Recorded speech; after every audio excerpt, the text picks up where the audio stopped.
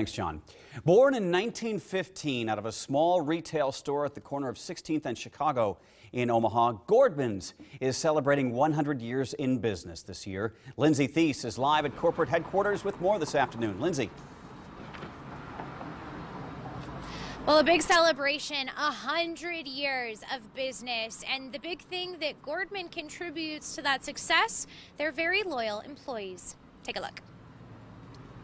I think James is almost done if you want to head down there, ma'am. Today, Lori Long is managing employees at the Gordmans off 172nd and Center in West Omaha. It wasn't something she expected when she applied as a part time cashier at age 16. It was just part time. You know, I want some extra spending money. Um, and my interview process was I went in, I talked to the store manager after I filled out the application. All he said is, How old are you? What's your availability? Can you start tomorrow? Long's been with the company for 32 years. Back then, it was definitely family. You felt like part of the family. That Gordman's family history goes back to the early 1900s. Dan Gordman quit his job at Bloomingdale's in New York City and decided to move west in hopes of finding his own calling in life. A need for car repairs brought him to Omaha. That's where he fell in love with Esther Richman and went into business with her dad. For years, Richman Gordman was the place to shop, and it was also the place with the animal slides for kids.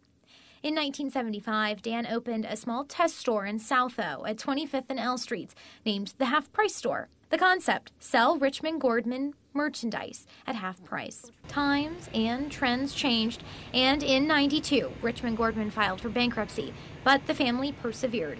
In the 90s, the half price stores became the Gordman's brand, and this year they're celebrating a big anniversary. Um, we currently have 101, and we're now celebrating our 100 years.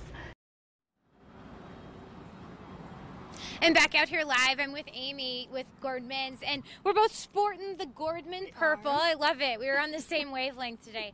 Uh, and a couple of things, too, for the viewers. You can still have a little bit of those Richman Gordman touches around Omaha. The Omaha Children's Museum has on their permanent display some of those animals for the kids to play in.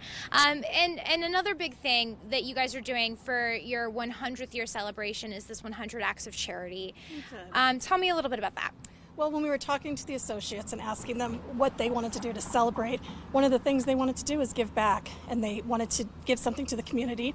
So we did 100 acts of charity, so all of our stores can participate, our home office participates, and they each choose a charity of their like, what they want to choose.